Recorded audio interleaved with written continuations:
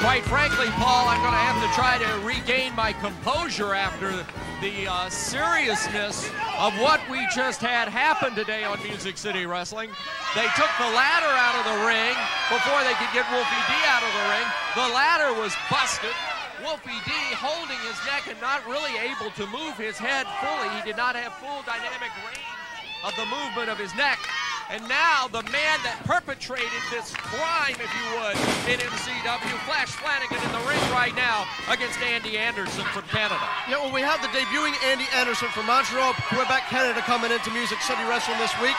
And my God, what's next, Michael? What's next, Michael? What's next, Michael? We have Steven Dunn debuting this week. Rex King comes out in a big confrontation there. Then we have Wolfie D out for an interview. Flash comes out and uh, takes a, a a ladder from the back of the building, for God's sake. It goes in there and nearly maims the man, I guess, from what you're telling me. You were up close, you saw better than I. What did it look like in there? Uh, it was mayhem. And I mean, to have a man come flying at you, I, I, mean, I saw him coming, and not that I wanted to leave Wolfie D unguarded, but I sure the heck didn't want to get slapped by that ladder, and he was just coming at him full force with that ladder and then he pulled the ladder into the ring, put pushed Wolfie D in the ring, and then took the ladder and scissored Wolfie D's neck in between the rungs of the ladder. Well, I'll tell you what. I mean, you see Flash in there. This Andy Anderson's getting the best of him right now. But you know Flash is an accomplished wrestler inside the ring. But look at the stuff he's been pulling around here lately, these stunts that he's got going on.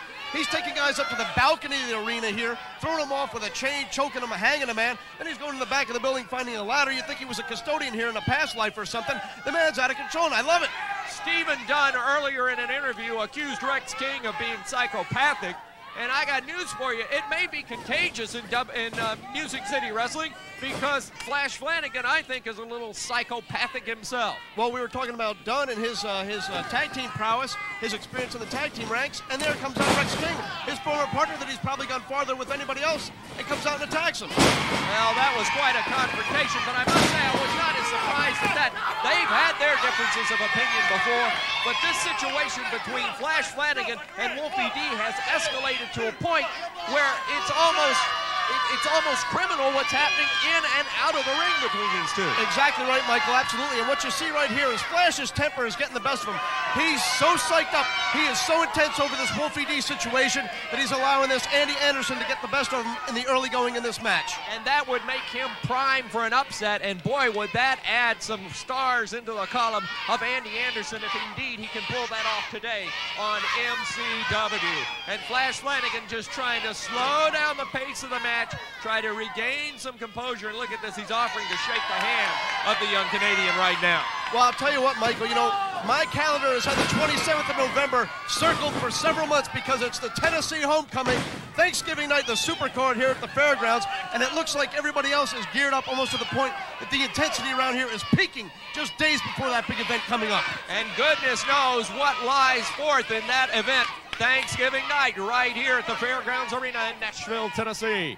Right now, Flash Flanagan doing exactly what he has planned to do, slowing down the pace of the match and making Andy Anderson come to him to fight his fight. Referee Gene Johnson stepping in between them to try to break him up. I'll give the referee credit. Gene Johnson gets very active in that ring sometimes and will take matters into his own hands to maintain control in a match. And right there, you saw him do just that. Here's Anderson taken to the ropes and caught with the clothesline by Flash Flanagan coming off. Absolutely. It looked like Gene Johnson got in between them there and snuck a little thumb to the eye of Anderson there, and it's allowed uh, Flash to take over. What, I think that's what I wouldn't you concur? Neck breaker right there by Flash Flanagan. I do not concur with the uh, thumb in the eye theory. I would have to see a replay on that. And there you see Flash Flanagan going right at the cameraman, kicking at the neck. He has something about necks of people. Somebody, he must have saw a TV show or something where it talked about the vertebrae on the neck because he is attacked now. Two men right in that volatile, ver, a very, very volatile position. Maybe he saw that late night commercial for that Oriental La Pillow, whatever it is, where they drop the egg and the egg doesn't break except for the one. Well, you know what I'm talking about.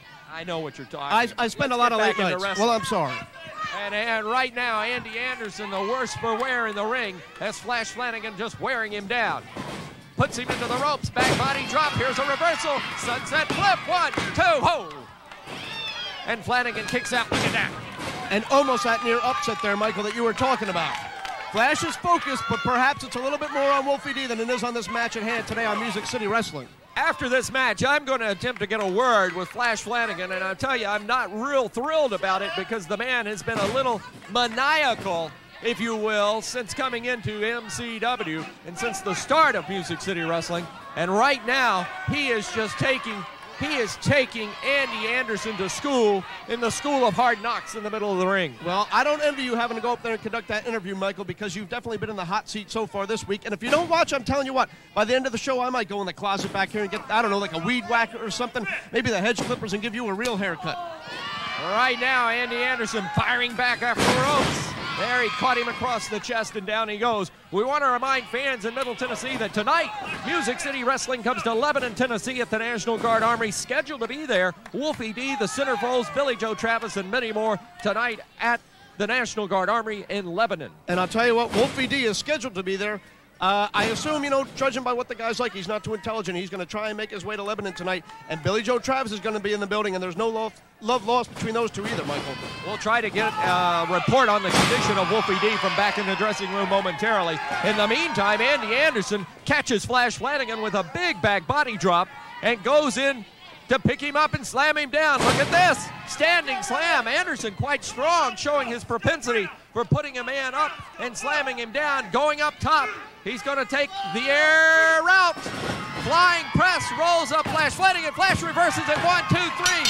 He got the pin, but I believe his feet were on the rope.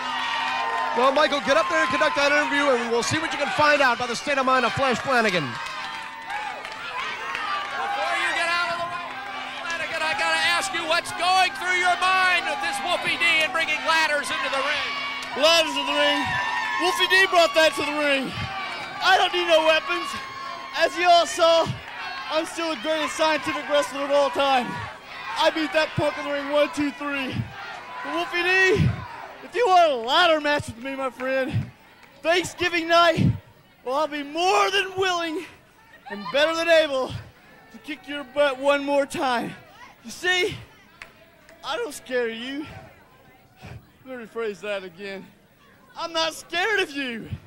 There's not one person in this building I'm afraid of. Doug Gilbert has come out and saved your butt one too many times. Why don't you come and do it on your own, Wolfie D? But you see, you can't do that. You want weapons and all that in the ring? Well, that's fine with me. You see, I can wrestle, I can fight, I can cheat just as good as anybody else can. But you know what the difference is between me and everybody else? Is I'm better than they are. Wolfie D, come Thanksgiving night, you're gonna find out why I say I'm the best, and we'll prove it. Flash Flanagan giving his comments here on Music City Wrestling. Let's take this break. We'll be back with more action after this.